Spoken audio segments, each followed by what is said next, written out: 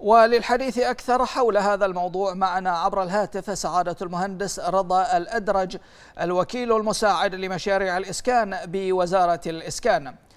آه، سعادة المهندس بعد التحية وبداية نبارك لكم ثقة الملكية السامية بتعيينكم في هذا المنصب. متمنين لكم التوفيق والسداد في أداء مهامكم المناطة بها. بداية سعادة المهندس ما هي مميزات المخطط التقسيمي لمدينة شرق سترة؟ آه، مشكورين أخي العزيز وبارك الله في حياتكم وإن شاء الله نكون على قدر المسؤولية والثقة السامية من جلالة الملك الله يحفظه. آمين. آه، آه، في البداية حبيت أن أشكركم على هذه الاستضافة مرة ثانية وحبيت أهنئ الأخوة المواطنين على بدء أعمال التنفيذ في مدينة شرق سترة.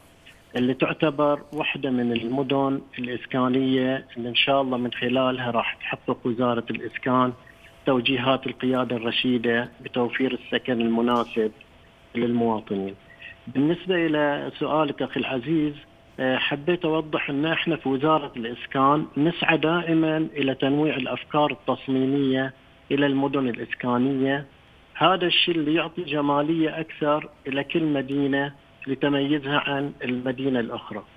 آه، طبعا في مدينة شرق سترة إحنا نتكلم عن فكرة الجزيرة فكرة القنوات المائية اللي تم استلهامها من الجزيرة الأم اللي هي جزيرة آه، سترة.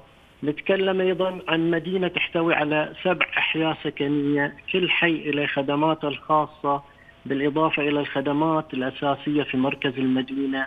سواء من الأسماء من الأسواق الرئيسية المدارس المركز الصحي المراكز الاجتماعية وغيرها من الخدمات اللي تم توفيرها في المركز.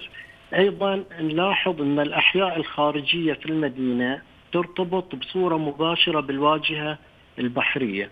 في حين سعينا إلى تصميم الأحياء الداخلية على أساس أنها ترتبط بالحديقة المركزية آه، في وسط المدينة. آه، يمكن الله يسلمك من أهم مميزات المدينة الترابط البصري، أنا حبيت اكد على هذه النقطة اللي هي الترابط البصري بين جميع أجزائها سواء من المركز إلى الأطراف أو العكس، هذا الأمر يقوي من جمالية المدينة ويعطي الإحساس بالترابط بين كل آه، عناصرها.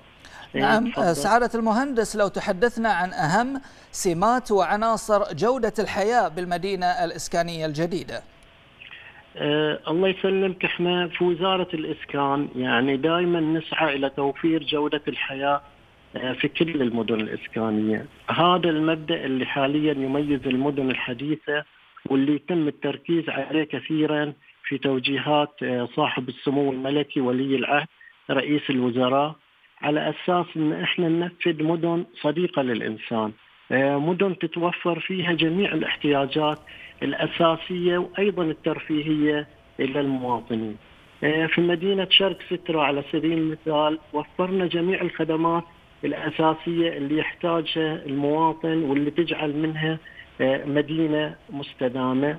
بالإضافة إلى هذا الشيء وفرنا الخدمات اللي تعزز الجانب الترفيهي، الجانب الرياضي، الجانب الصحي للمواطنين آه، مثل الحدائق اللي بنيناها أو راح نبنيها على مستويات مختلفة المماشي المنتشرة بكثرة في آه، المدينة مسارات الدراجات الهوائية نعم. وأيضا التركيز بصورة أساسية على الواجهات البحرية اللي يوصل طولها إلى أكثر آه، من 6 كيلو متر كل هذه العناصر راح إن شاء الله تجعل من جودة الحياة شيء أساسي موجود في مدينة شرق سترة.